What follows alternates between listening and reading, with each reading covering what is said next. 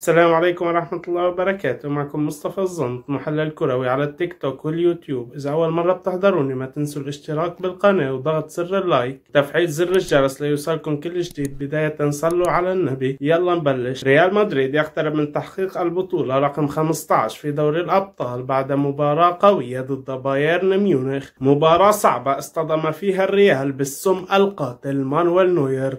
الذي تمنع أمام ريال مدريد ووضع خبرة السنين كلها أمام اللاعبين. تصدى تصديات خيالية منع الريال طيلة 88 دقيقة من التسجيل بتألق. المميز الألماني الجدار الذي يصعب اختراقه مانويل نوير عذب الريال. مباراة اكتسحها ريال مدريد بالطول والعرض ولكن القائم اللعين منع فينيسيوس الذي أبدع وأمتع طول المباراة من تسجيل الهدف.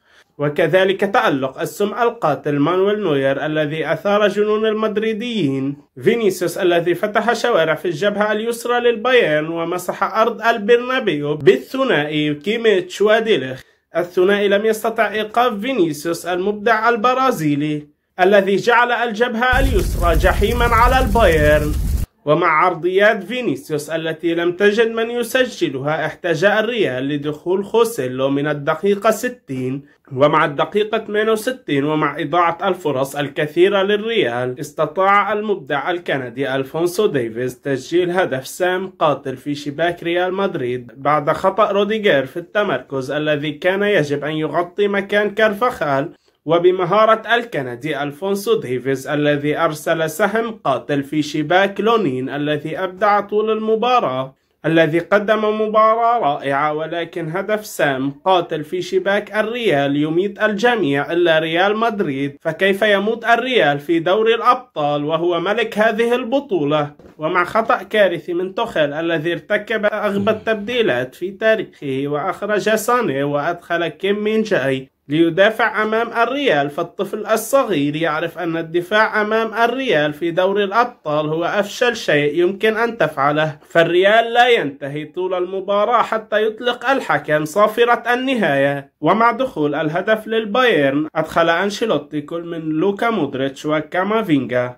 ما غير شكل الوسط وجعله هجومي أكثر مما كان عليه. إلى حين أن سجل الريال هدفا أفرح جميع المدريديين إلى حين إلغائه من الحكم.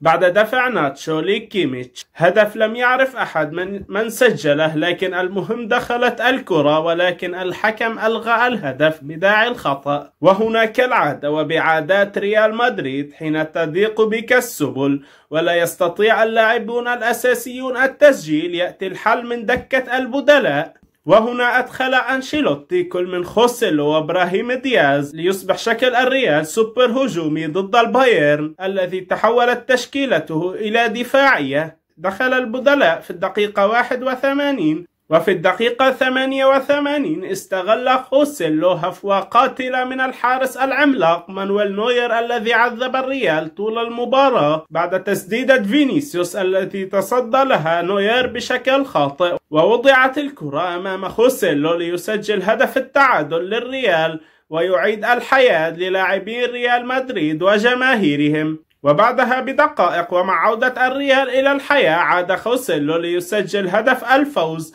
في الدقيقة 91 ليهدي الفوز للملكي. هل ظلم البافاري تحكيميا بداية من هدف خوسيلو الذي أثار الجدل؟ هدف خوسيلو الثاني هو هدف صحيح ففي ظل تقدم المدافعين يكون خط التسلل مع الكرة. إذا فخوسيلو لم يكن متسللا وكذلك اللقطة السابقة على روديجير فكان مدافع البايرن يغطي على روديجير ولم يكن متسللا. الهدف الثاني صحيح 100% أما هدف البايرن الثاني فهو هدف غير صحيح فاللقطة واضحة وضوح الشمس الثنائي البافاري يتقدم على روديجير فيد المدافع لا تغطي التسلل. حسب قانون التسلل فالتسلل يحتسب من كتف المدافع وليس من يده. فالهدف غير صحيح وحتى لو كان الهدف صحيح واحتسب للبايرن فلم يكن بإمكان البايرن ومع إخراج توخل لأهم اللاعبين كين وموسيالا وسانيه. ولو وصلنا للوقت الإضافي لفتك ريال مدريد بالبايرن برباعية أو خماسية أو أكثر. الخامس عشر اقتربت للريال في النهائي ويمبلي ضد الحصان الأسود بروسيا دورتموند الذي أبدع في هذه البطولة. شكرا على المشاهدة حتى النهاية لا تنسوا الاشتراك بالقناة وضغط زر اللايك. اترك تعليق برأيك في الفيديو. تابعوني على التيك توك والإنستغرام الروابط في الوصف.